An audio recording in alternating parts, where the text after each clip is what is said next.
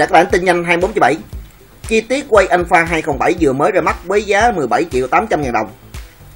Quay Alpha 207 đã hoàn toàn mới với nhiều cải tiến vượt trội về mặt thiết kế động cơ và một số tính năng vượt trội. Chính thức lên kệ vào ngày 18 tháng 1 với giá đề xuất là 17 triệu 800 ngàn đồng. Bên cạnh việc nâng cấp khối động cơ từ 100 phân khối lên thành 110 phân khối, thì mẫu xe mới còn gây ấn tượng bởi thiết kế mới. Tuy đã rất quen thuộc nhưng hài hòa, cân đối và hiện đại hơn so với phiên bản người tiền nhiệm kiểu dáng đèn pha đơn halogen, kích thước lớn, kết hợp với cặp đèn xi nhan, tích hợp ngay trên đầu đèn.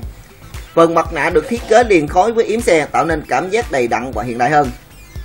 Thiết kế mặt đồng hồ vẫn giữ nguyên, nhưng các chi tiết bên trong đã thay đổi, trông mới và thể thao hơn. Phần ghi đông thiết kế gọn hơn, tăng thêm cảm giác thanh thoát và gọn gàng cho chiếc xế, đồng thời vẫn kiểm soát được độ rung lắc của tay lái.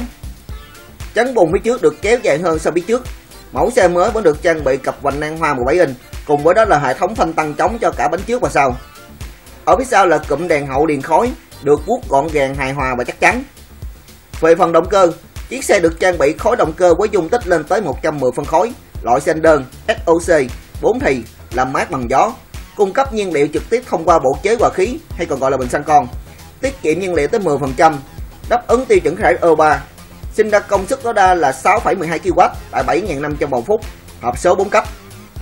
Tốc độ xe có thể đạt được tối đa là 92 km/h, nhanh hơn 5 km/h so với bản người tiền nhiệm.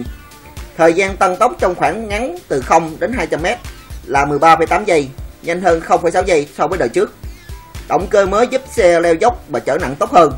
Với việc đẩy tốc độ tối đa lên cao hơn, vòng tua máy thấp hơn ở cùng một vận tốc so với đời cũ qua đó mang lại cảm giác êm ái khi vận hành tư thế ngồi cũng đã được tinh chỉnh lại chút ít nhằm đem tới sự thoải mái hơn.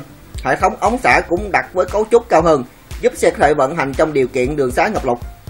Ở phiên bản mới vẫn được trang bị cái cốp rộng khoảng 5 lít do đó có thể được vừa để ống mưa găng tay hoặc một số vật dụng nhỏ. Ngoài ra sẽ còn được trang bị ổ khóa từ mới có chức năng như khóa điện khóa từ và khóa cổ. Chiếc xe có 5 màu sắc trắng, đỏ, đen, xanh dương. Màu mới là xanh ngọc dành cho những khách hàng trẻ tuổi và cá tính năng động.